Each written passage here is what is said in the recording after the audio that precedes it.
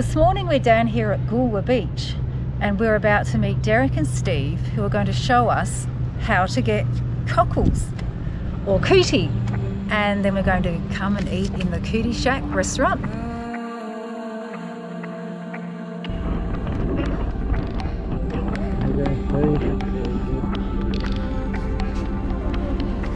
Finally got together. I know. How you going? I'm excited. All right, so where are you? Should we just drive on the beach? Yeah, we're just here. So yeah, follow us. We'll get down on the beach and. Is we need to let our tyres down or? Nah, nah, not No? this. That's pretty this- solid. Yeah. Okay, good oh. Yeah, yeah, it's good. So we've met Derek and Steve, and now we're going to go on the beach. We're lucky to have Derek Walker feature in this video. Derek is a Ngarrindjeri elder and a key member of Kuti Co, a wholly Ngarrindjeri owned fishing company whose crew gathered the cockles down here. Kuti Co is now a major shareholder in Goolwa Pipi Co, who process the kuti for sale. So in this video we'll explain how to cockle and Derek will also share the cultural importance of cockling to the Ngarrindjeri people.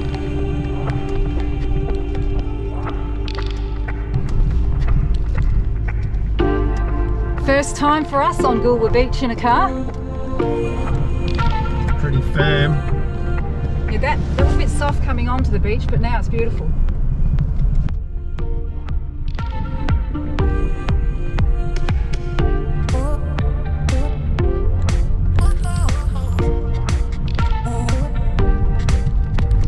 Just having a look at yeah, what's on details of. Are we still going down further? All right. There's a bit of evidence here. All right, we'll keep following you. So cockles, pipis, what, what's the difference?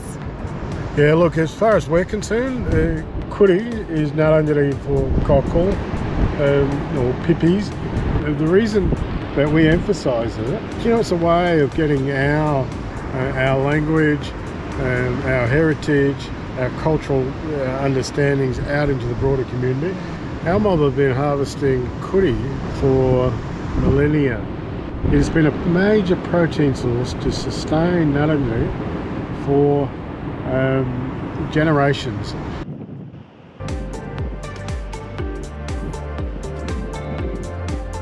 Anyone that's come to Goolwa Beach, they would come and they would harvest cockles. It's the- you have the cockle train down here. The, the whole area is is aimed at this beach and the natural resource that comes off this beach.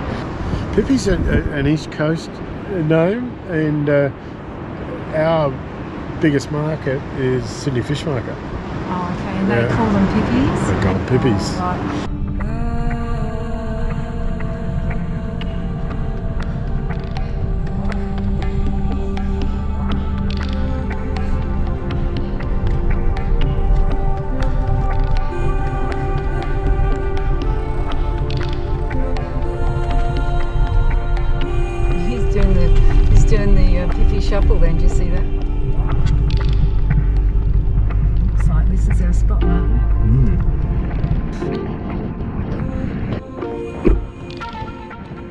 So is this the same spot you always come to, or? Roughly. Roughly, yeah, when we're doing stuff on the beach. All right, let's do it. Alright. All right. Okay, Steve. You're going to show me how it's done. Yep. Try to. Awesome. so I've never cockled before. Um, So I'm pretty excited to learn how it's done. Yep. We're down here on Goolwa Beach today. Sir Richard Peninsula. Yeah. Cool beach. Good spot. We're actually pretty lucky with the weather today. The wind's really not an issue. A little bit of sun. Actually, let me get my thongs off.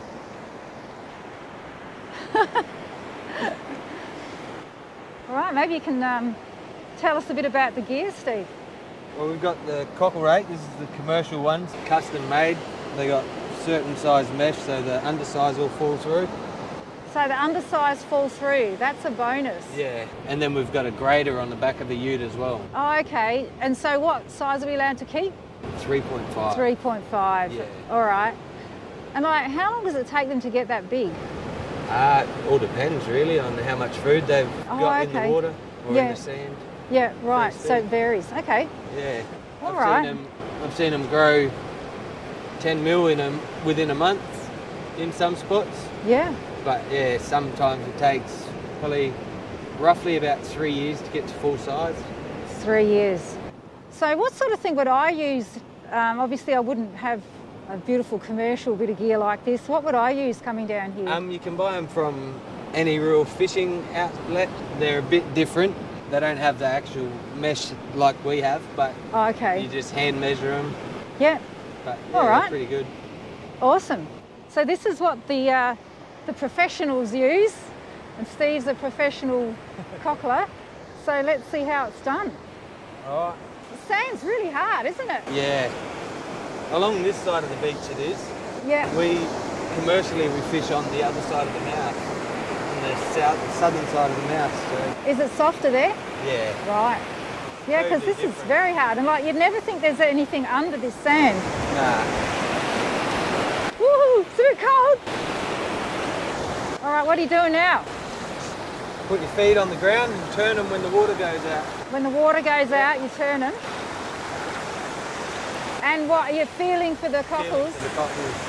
All right. Nothing in. When you're walking out, after a while you get to feel that the sand changes when there's something in it. Okay. We'll say it's a crab, Steve. Oh yeah. They're in here as well. All right. Well, I can't feel anything at all. No, Not feeling it? not yet. Okay. So we just You keep just going keep out, going out. until we can feel it. Yep. All right.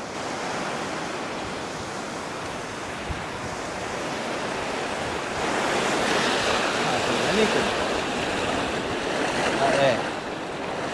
Right about there, eh? You reckon you can feel something? You feel the sand change yet? Goes like a slimy type of feeling. Uh, let me try again.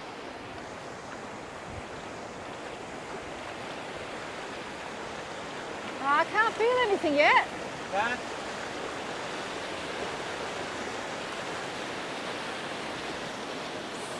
So does it loosen them Yep. and then they go into the net? Oh! Check it out! There's one. And there's all heap of underside ones there too. Oh, yeah. Look at that. All right. So you just loosen them, they rush out with the water, water into and the then they go into there. Okay. Yep. Or you can normally feel them and pick them up. They're all shells. Wait for the water and then you start wiggling. Yep. And you use the water just to wash the sand away pretty well. Okay.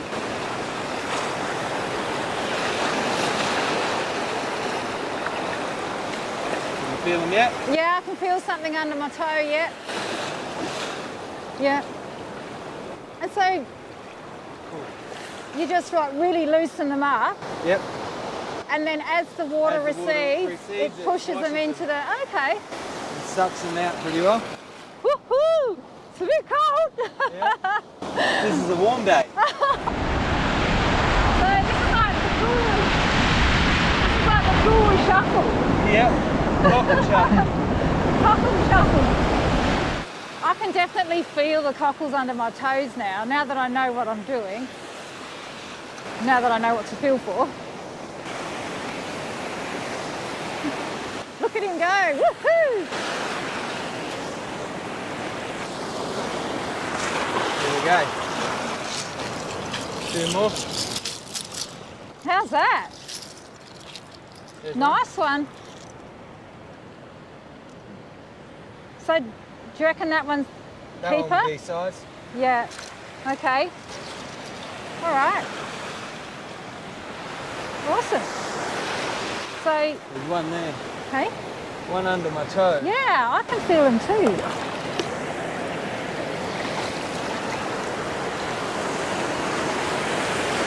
So, you can just like pick them up them with up. your hands if you don't want to do the like the whole shuffle thing. But I mean, I can feel them. Oh, I'm just going to get right at the bum. Ah! There's a lot of shells though. Yeah. Heaps of little ones. Yeah. Try that. yeah. So, What you do, just stand there, dig your toes in yep, and flick. And it washes the and sand. flick. Yep. And where do I put this? Straight in front of you. Like that? Yep. There's a lot of waves coming, Steve. ah! All right, should I be doing it now? Yeah, when Oh. the water washes out. Hang on a minute, when it comes back out. Yeah. As the water washes out, put the rake down. It's, it's still coming in. Yep.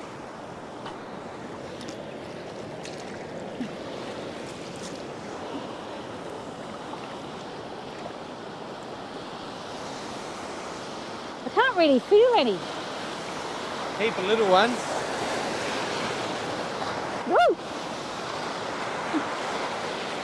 This is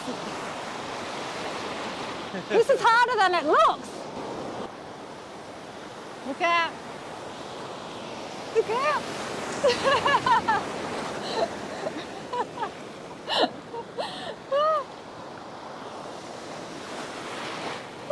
Ooh. Some days we get it that rough that the waves are coming in over our heads. I think uh, I might have had added want to do a little bit more? Or just? So it's tricky getting the bag in the right spot, I find.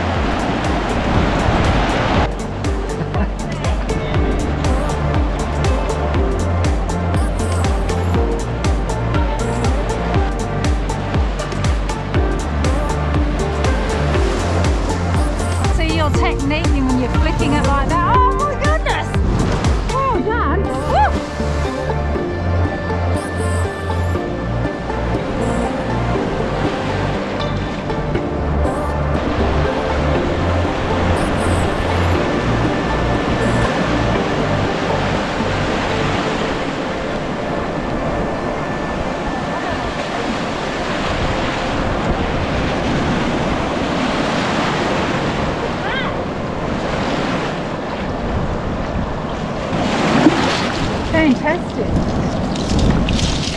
did you say it? Naran. Ngarrindjeri. My wife's a linguist. She, she, she teaches Ngarrindjeri. So, um, yeah. Ngarrindjeri. Ngarrindjeri. It's a bit of a, it's a bit of Oh, a, okay. Ngarrindjeri. It's a bit of a, bit of a roll of it. Yeah, it's the roll. What is it? Ngarrindjeri. Oh, that's nice. Yeah, yeah. So what area does Ngarrindjeri cover? So Ngarrindjeri country goes from Cape Jervis to Myponga and down to Cape Jaffa and is heading towards the southeast. Now, I have had consent determination Oh, yeah. um, back in 2017, which is not not that long ago, uh, down on the uh, uh, on the riverbank at Murray Bridge. Um, the federal court, um, you know, acknowledged that Ngarrindjeri um, country is is where it is, uh, and that we have had a continuing connection to that particular country from time immemorial. Because of that consent determination, um, there was some, um, I guess, enterprise bargaining, if you like, uh, with the state government. They handed some land back, they gave us some money, um, and uh, and most importantly, there was an acknowledgement that uh, our country, including this bit of country, um, is, is traditionally the um, sits with Ngarrindjeri. Let's go lay them out on the beach. Yep. Well, this is a nice amount from probably for you quite a short amount of time. Yeah. I actually found that I wasn't really able to get many out of the sand. But I guess, you know, we need to practice. Yeah. You've probably been doing it a fair bit. You've been doing it for a while.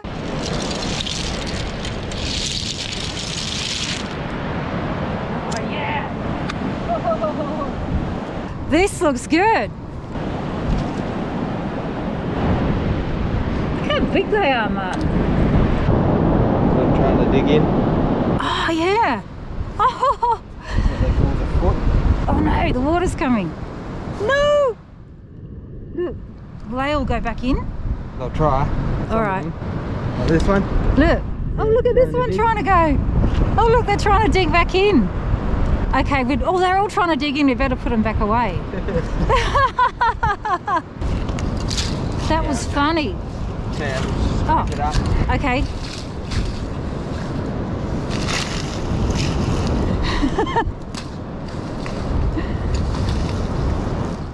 I just can't believe how quickly they were digging themselves back in the sand. They were disappearing.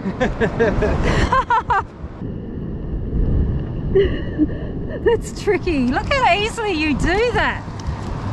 Oh, wow. That's really difficult. That's very, I can see how effective that is. Yeah. Yeah. All right. And that's how Steve manages to get like that many with just a little bit of shuffling because he's loosened up so many and they whoosh into the bag with the receding water. Fantastic. Wow.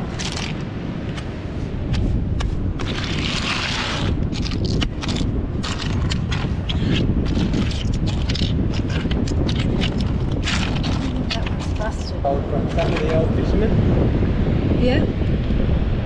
From your In there is normally roughly on the mark.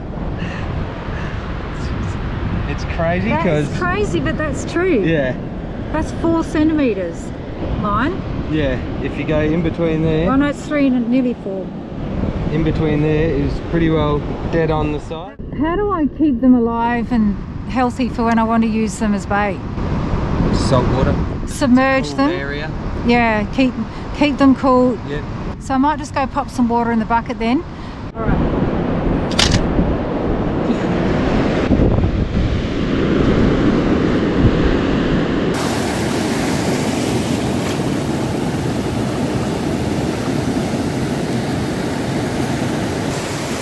I can see the water's going quite fast.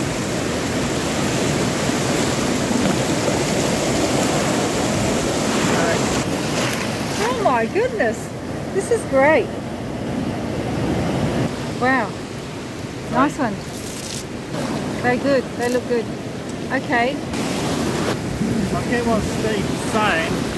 Put this in the water and then you move your feet around and you just keep, find a big patch, you just keep going backwards while the water's running out and it goes in there. Like that. And you've got to find a patch and you need the water to be running out nice and strong washes that sand out when you move your feet around. Washes all the cockles out of a technique to it. It's hard on his feet, so um, those guys they must be pretty used to it to do it for a few hours at a time. I mean that one's a bit borderline, I could keep it, but I won't because that's very small. It's only just 3.5. Whereas this one, this will be much better bit of bait for me to use. Yeah, that's that's Yeah. that's a really good size. That's a good size. So that's great. That makes it so much easier. nice. So we got 510 in the bucket. We got 510 in there. We're allowed 600 because 300 each. So I can only put another 90 in, so I've got to count them. So I read somewhere that you can only have 1200 per car. So if you've got five people, it's not 300 each. It's kind of like a boat limit. I think so. Yeah. Yeah, that makes sense. Kuti Co isn't just about a commercial opportunity. It's a, it's about a cultural opportunity. It's about uh, people understanding who we are and the fact that this is, you know, our traditional country, and our mob have been here for a long, long time. And so the fact that we come back into this industry after a, a, a well, not really a break, because our mob were always harvesting Kuti, would go down and get a feed, uh, those sorts of things. But from a commercial perspective, um, it really lines up for us. Um, and I remember my mother-in-law telling me that they would, the whole of the community down in Raukkan would, would go down on um, horse and cart and any way they could to get down onto the Coorong, get across the other side and go and harvest Kuti. Um, so it's been a, it's been a, a cultural activity for us forever. Um, and there's a Kuti song. There's a traditional Kuti song that our mob sung during um, initiation ceremonies for young men. Um, and so it's an indicator of the longevity of our involvement with Kuti And the very fact that we're in an industry that we can commercialise and provide an opportunity for employment, because that's, that's a big deal. Uh, getting our guys on the beach employed is really important for us. That's fantastic, Derek. For me, seeing the sign pointing to the Kuti Shack is just gold. Oh, in 2016, we bought at 1% of the industry, and in 2018, we formed a company called Kuti Co. And we've been able to acquire about 20% of the industry. And as part of that relationship with Goolwa Pipi Co, we were able to support the development of Kuti Shack. So the Kuti Shack is a business that runs in its own in its own right, but it's a cellar door for our kuti that our young fellas harvest. So I'm here with Brendan and Vanessa, the owners of the Kuti Shack. We have just had the most amazing meal here. We had the Feed Me menu. These are your own selections. Absolutely. Yeah. Their own selections for today, but it was spectacular. Tell me, you guys, how long have you been managing and owning this fantastic establishment? We've been here for four years in December. So, Four yeah, years. birthday coming up next month. Have you noticed like a big difference in trade over that time, or is it? It's been a weird time to do business in the restaurant Yeah. industry. Um, yeah, we started out really strong, then obviously everyone took a bit of a hit. Um, but no, tourism in South Australia is the best it's ever been at the moment. It's Especially absolutely- regional. Yeah. We're lucky. Yeah, It's back. Very It's lucky back. in, It's on back. the beach here. So. So we've literally just been cockling on the beach and really keen to see what they taste like and come in and try some of the signature dishes. They tasted amazing. Just tell us about those couple of dishes that you served us with the pipis today. Yeah, so the pipis with chili jam and lemongrass, Yeah. native greens. Yep, obviously purged by the Goolwa Pipi Co. Yeah. And yeah, served up fresh with some bread to mop up the sauce. That was had a real bite to it. There was a beautiful creamy sauce as well. What dish was that? So our mulloway with tom yum and pipis. Um, so local mulloway caught right out here, and then we do it with the Goolwa kuti and tom yum. Yum. That was the first time I've ever had mulloway as well. So we thoroughly enjoyed those dishes. So do you get a lot of tourists in? Absolutely. Yeah. Yep. Yep. Definitely a lot in the last year. Yeah. The first couple of years was a bit quiet with COVID, but yeah, they're definitely back. So, yep. And I would have thought there'd be a local contingent as well, people that just want to always come down here and enjoy the incredible view and the food. Kuti Shack, we obviously proudly serve great South Australian seafood. Um, we do have the more formal restaurant, but then we've also got outside, come straight off the beach, sandy feet, no dress code, um, to just have a bowl of pipis and a bit more casual, maybe a beer. So now you know how to get your kuti or cockles. It's a bit of a trick to it with the shuffle, but hey, a bit of practice and you'll be able to do it. This is Fishing Sister saying goodbye.